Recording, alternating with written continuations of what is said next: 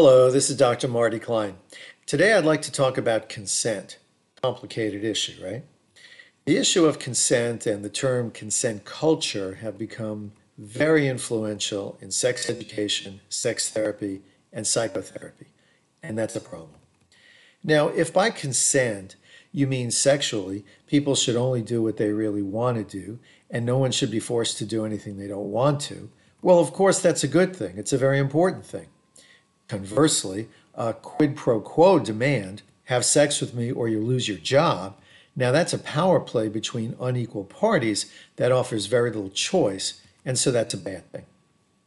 But for some officials and commentators, consent is a cover for the same old anti sex stereotypes that male sexuality is by nature exploitative, that women need special protection from men and sex, that enhancing sexual pleasure and intimacy is much less important than preventing danger, and that feeling pressured or heartbroken is so traumatic that it must be eliminated from dating. Now, explicit consent can contribute to pleasure and intimacy, of course, but trying to eliminate coyness, seduction, encouragement, flattery, or even manipulation from dating is not only unrealistic, it's unwise, it's unwanted, and it's contrary to human experience. That's because the erotic dance between any two people invariably involves ambiguity, ambivalence, multiple agendas for each person, incomplete communication, and an ever changing context. And this is fully as true for women as it is for men. And that doesn't even begin to factor in alcohol, or the way that some people reinterpret their experience of the previous night in the face of daylight sobriety or their friends or therapists' disapproval. And America still has not resolved this question.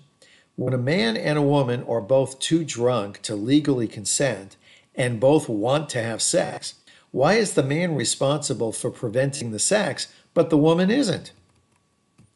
The recent advocacy of consent culture as the most important part of sex continues to distract us from other equally important issues in sexuality and public policy. Here are just some of the contemporary realities that are just as important as consent. For example, the reversal of evidence based sex education in schools. The American government now funds only organizations promoting abstinence only approaches to sex education. For 30 years, research has consistently found that these programs are ineffective and sometimes even dangerous. Only half of American teens receive school instruction about contraception before they have sex for the first time. Meanwhile, people of all ideologies decry the role that pornography plays in educating young people about sexuality, an absolutely legitimate concern which I share. And that makes accurate and relevant school sex education an urgent policy matter. Then we have fetal personhood laws. Pregnant women across the country are increasingly subjected to laws that place the welfare of their fetus above their own. American women have been arrested after accidentally falling downstairs, taking drugs prescribed by their physician, being in a car accident, and having a stillborn delivery. When a woman's life is secondary to the fetus's, and legislators take the bizarre position that the fetus needs a protector, who's going to protect the woman carrying the fetus? And by the way, these are the same legislators, of course, who deny funding for pregnant women's health care services. There's also the explosion in the number of people on sex offender registries. Every state is now required to maintain a sex offender registry accessible to the public. There are almost a million registered sex offenders in the United States. One quarter of these million are minors, some as young as nine years old. In some states, registration is for life. There are tens of thousands of people on these registries for nonviolent offenses, such as public urination, indecent exposure, and taking photos of fully clothed children in public places. Yes, really.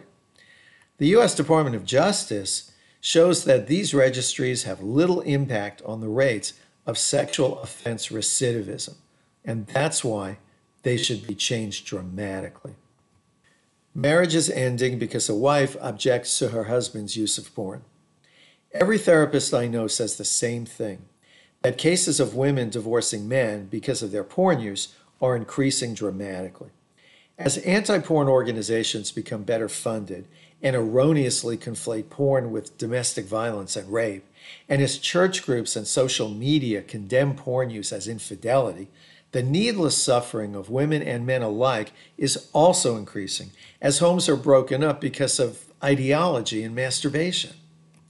Since divorce affects children as well, this is a family health crisis. Not dad's porn use, but mom's insistence that dad's porn use has disqualified him from marrying and parenting.